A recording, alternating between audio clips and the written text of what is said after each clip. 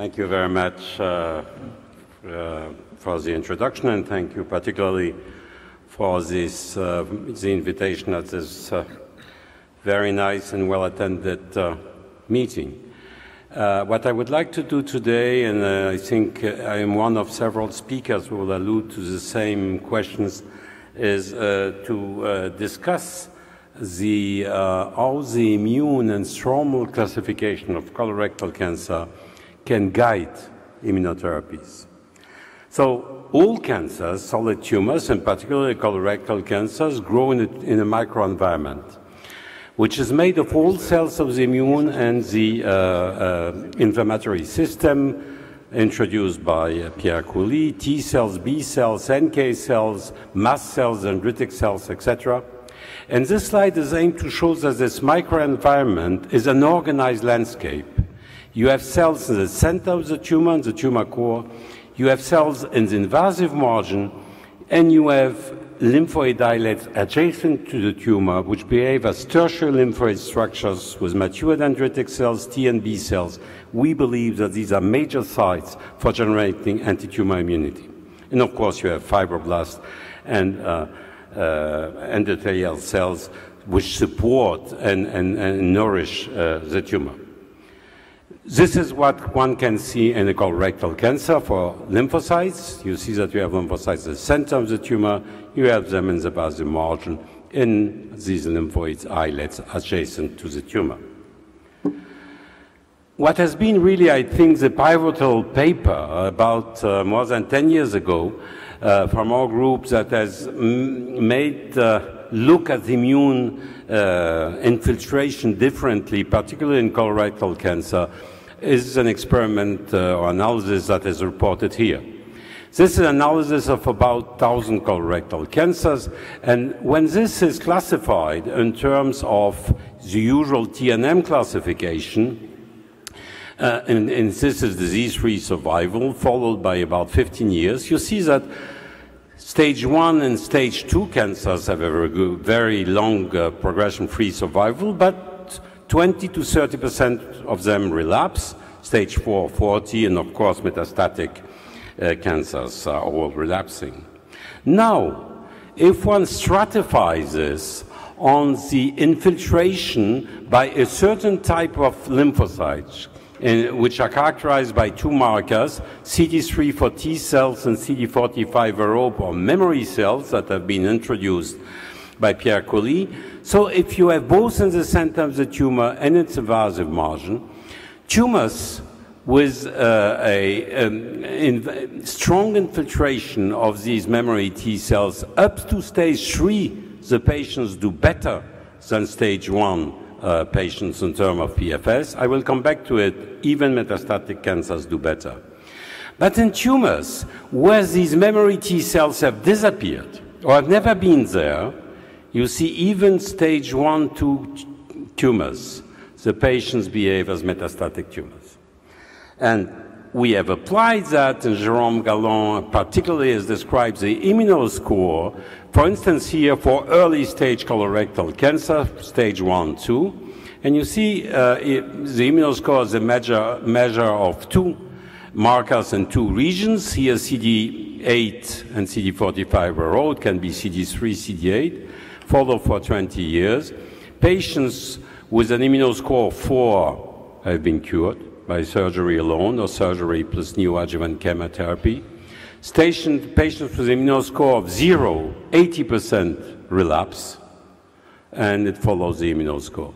But what is interesting here is that the immunoscore appears to be the strongest prognostic factor, together with perforation, which fortunately happens only in 5% of cases, over the classical TNF, TNM classification for disease-free overall and disease-specific survival. And we dared to write at that time, 10 years ago, that the evaluation of the type, the density, and the location of the natural in situ immune reaction within distinct tumoral territories predicts clinical outcome better than the natural tumoral extension. And this, in some respect, forms the basis for having immunotherapeutic approaches in cancer. As we all know, cancers, of course, also escape the primary tumor and migrate to vessels and then go uh, lymphatic vessels, blood uh, vessels, along peri nerves, and form metastasis. Is the game played again at the metastatic site? And to make a long story short, the answer is yes. This is the measure of two cells, mature dendritic cells and CD8 T cells at the metastatic site. And this represents the overall survival from the time of the metastasis for lung metastasis of colorectal cancer. And which just shows is that if there is a strong CD8 infiltrate in the proper way, the overall survival is much better than when it is a low um, infiltration of these and the median survival time is not reached here, whereas it's less than two years in this case. So we describe what we call the immune contexture, where the type of cells, T cells, cytotoxic memory, the density and the vascular margin in the center of the tumor, their functional orientation, Th1 with production of interferon gamma, IL-12, granzyme, perforin, granulysin, and associated to cytotoxic T cells, the chemokines that attract T cells, their location again, and the presence and quality of tertiary infrastructure structure forms the immune contexture, which is a very strong prognostic factor uh, for colorectal cancer. However, there are not only T cells in, in, in colorectal cancer and other cancers, and this is a comprehensive analysis of all immune inflammatory cells by Gabi Badia, Bindea, Jerome Galon, and our laboratory. Um, for uh, high as the peak is, high as the density is, blue is in the center of the tumor, yellow invasive margin. And as you can see here, Macrophages are the first cells in terms of density, followed by T cells. B cells are found associated with tertiary lymphoid structures, and you find immature dendritic cells, mast cells, IL-17 pro-inflammatory producing cells, etc.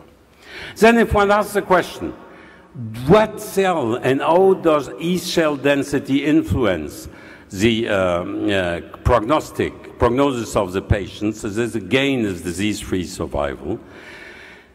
Green is good prognosis, red is shorter disease-free, progression-free survival. You see that the myeloid cells are usually associated with poor prognosis, mast cells with poor prognosis, pro-inflammatory cells with poor prognosis, whereas, as I showed you earlier, the T the lymphocytes, and particularly the memory T lymphocytes are associated with good prognosis. So in the, in the microenvironment, as Pierre said, of course the T cells are very good, but you have other compartments that will modulate that. And if one goes even further, in addition to all these inflammatory lymphoid cells, you have two major par partners, which are the cancer-associated fibroblasts and the endothelial cells, the vascularization, all of this forming the tumor microenvironment. And these cells, particularly fibroblasts, are rather pro-tumorigenic because they produce pro-angiogenic factors, pro-tumoral factors, angiogenic, uh, high angiogenesis, low migration of metastatic cells, etc. So we decided to analyze all the compartments of the microenvironment and to do that, we established a, a transcriptomic signature for all cells that we could uh, uh, really quantitate in this microenvironment, lymphocyte, which encompasses T and NK cells, B lymphocytes, myeloid cells, fibroblasts, endothelial cells, and uh, smaller plasmacytoid dendritic cells, eosinophils, etc. And uh, uh, uh, with this, we applied it to the analysis of 20 different cancer types. And we ask a simple question. What defines best prognosis in terms of signature in each cell uh, tumor that we analyzed? And in colorectal cancer, which is the only one that I will discuss today, we found that the two metagenes that describe the best colorectal cancer is the one associated with cytotoxic lymphocyte and the one associated with fibroblasts. So therefore, if you are cytotoxic lymphocyte high and fibroblast low, this is a very good prognosis. On the other hand, cytotoxic lymphocytes low and fibroblast high, this is a very bad prognosis. It's not always the case. In other tumors, it will be cytotoxic lymphocyte myeloid cells, for instance. But in fibroblastic, uh, uh, in colorectal cancer, this is the case. So why is it so? Uh, to try to understand that, we uh, collaborate with Pierre-Laurent Puig and his group to analyze the immune infiltration in colorectal cancer following that has been described in various uh, groups, particularly here by uh, uh, Joseph, our chairman, Tom Barrow, uh, and Rodrigo Dienstmann, and uh, other speakers, Sabine Tejpar, Pierre-Laurent Puig, and others, into transcriptomic um, defined molecular consensus molecular subgroup. Since it will be discussed a lot, I guess after my talk I will go very rapidly here. There are four subtypes of colorectal cancer. What is important for what I will discuss now is the following. CMS1 is highly mutated. CMS2 as a canonical uh, group as a Wnt beta-catenin MYC activation. CMS3 is metabolically dysregulated, and CMS4 has a strong stromal infiltration, TGF-beta activation signature and angiogenesis. So we applied our immune signature uh, um, to, these, uh, to the analysis, and this is a French cohort of 566 colorectal cancer uh, in the terms of the carte d'identité de la Ligue of the Ligue contre le cancer with Pierre-Laurent Puig. And what we found, that others have found as well, of course, is that the, in the hypermutated group, you have a strong infiltration of lymphocytes, particularly cytotoxic lymphocytes. Remember here you have an increase in the number of MSI tumors, highly mutated tumors. It makes sense. Myeloid cell, poor endothelial, poor fibroblast. Canonical and metabolic groups are immune desertic groups. You have very little of everything. But mesenchymal group is interesting. It is infiltrated by lymphocytes, T cells, but not of the same type. They are not cytotoxic lymphocytes. And they are in the context of high monocytic lineage, uh, therefore inflammation, high angiogenesis in the endothelial cells, high fibroblast here. We validated it and with two other cohorts, and this is a cohort coming from Lausanne, so about 2,000 patients, uh, tumors were analyzed there. We also validated that on immunohistochemistry with a cohort coming from Toulouse, Janick Selves, in which we found that indeed for T CD8 T cells, number one is CMS1 followed by four, two and three are very low. Macrophage is the same, two and three are very low. But what defines group four is really the very high content of fibroblasts. We and others, of course, have shown that, uh, which are defined by the smooth uh, um, muscle actin grade that you find only in CM SMA4. And as I said, if we analyze the French cohort, the CMS1 is the best prognosis in terms of progression-free survival. Two and three are intermediate. Four is very low, and it comes together for overall survival. Again, four is the lowest there. If one goes a little bit deeper in, the in looking at the cells and the genes that are expressed in this group, CMS1 has all the genes which are good to have a, an efficient immune reaction. T-cell attracting lymphocyte chemokines, a chemokines that helps forming tertiary lymphoid structure, interferon gamma signature, IL-15, which makes proliferating T and B cells. High expression of checkpoint blockers, PD-1, PD-L1, PD-L2, CTLA-4, some inflammation, little angiogenesis, immunosuppression, complement, and strong MHC class 1 expression, these molecules that present the antigen to the T cells. CMS2 is desertic. You see it's blue almost everywhere, and it has very low MHC class 1.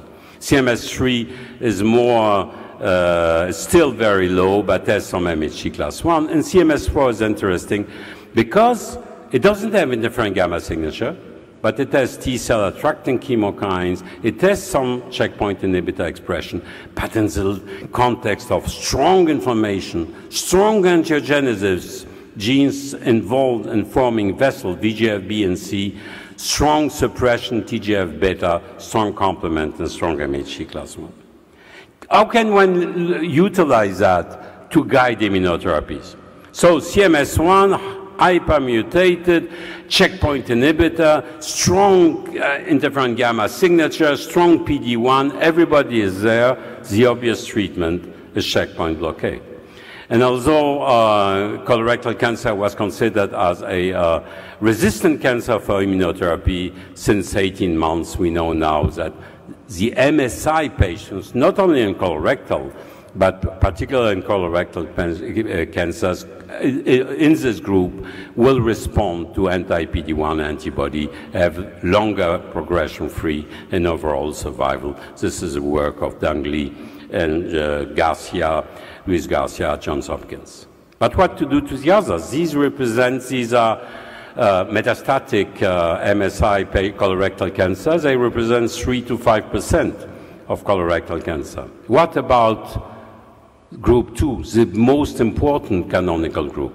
I told you that they have a Wnt beta-catenin activation, and at the same time that we were doing these experiments, there's been a work published by Tom Gajewski in melanoma showing that the melanoma intrinsic beta-catenin signaling prevented anti-tumor immunity. And I have no time to go into the details, but the way he sees it is the following. When you have activation of beta-catenin, there is an activation of a transcription factor called ATF3, which blocks the production of the chemokine CCL4, and therefore blocks the recruitment of mature dendritic cells. You have no dendritic cells recruited. You have no um, uh, T cells, tertiary lymphoid structure forms, and therefore you have an immune desertic tumor. These tumors should be treated with beta-catenin inhibitors before treating them with immunotherapy, very obviously. Number four, strong uh, stromal infiltration, TROMS, TGF-beta activation, strong angiogenesis. Look at this same. Stromal infiltration, TGF-beta, epithelial mesenchymal transition. this signature has been found by Tony Ribas in uh, melanoma, very similar. EMT, angiogenesis, TGF-beta, one healing are signing a resistance to checkpoint blockade. And he published that he found this signature not only in melanoma, but in lung, in colorectal, in uh, kidney, in pancreatic, most pancreatic tumor. And you see, therefore, this mesenchymal signature is a signature of resistance to checkpoint blockade. And you have to take care of TGF-beta angiogenesis before you come with your checkpoint uh, inhibitors. So to come to the conclusion, the way we uh, see uh, how uh, these analyses can guide immunotherapy is the following. In the hypermutated tumor, with high T cell infiltration, Th1 orientation, and cytotoxic um, lymphocytes, the escape mechanism is checkpoint blockade expression, and you just have, just have, you, you, it will be efficient to block the blocker with the anti-checkpoint inhibitors. In the mesenchymal group, you still have high lymphocyte and myeloid cells, but together with high angiogenesis, stromal mesenchymal cell, the escape mechanism is hypoxia, TGF-beta, PD-1 axis, and then one has to come with anti-angiogenic, anti-TGF-beta before coming out together with checkpoint blockade. And the canonical metabolic group with low lymphocytic and myeloid cell infiltration, either you can make them hot tumors by anti-beta-catenin inhibitors, but they have low MHC class 1 expression, and once you have made them hotter and have some expression, you have to bring your T cells either by CAR T cells or by specific antibodies as have been introduced earlier. So for the general conclusions, the tumors come into two parts. The immunogenic tumors with neoantigens induced by various ways, presented on MHC class 1. Mature dendritic cells pick them up in tertiary lymphoid structures, activate T, CD4 and CD8 T cells as well as B cells. A Th1 response activates uh, M1 macrophages, antibody being produced, the tumor is controlled. Some tumors have a dysregulation in chemokine gene, in genes expression chemokines and cytokines. For instance, TGF-beta, IL-6, VEGF. These will induce fibroblasts, cancer-associated fibroblasts, which produce VEGF, induce M2 macrophages that downregulate the immune reaction, high disrupted angiogenesis, uh, and immature dendritic cells activating Tregs that will block this response. And immunotherapy in these tumors will have to work on both sides of the tumor. So what I presented to you is the work of Etienne Becht, Nicolas Giraldo, Florent Petitprez, um, uh, La Croix Laitière, La Croix Sarah Bourras, Catrice Sautès-Fridman, in strong collaboration with the group of Jérôme Galon, and the very strong collaboration for colorectal of Sylvie Job, Pierre-Laurent Puig, and Aurélien de Reyniès, and uh, surgeons and uh, um, immunologists at uh, the hospital. Thank you very much for your attention.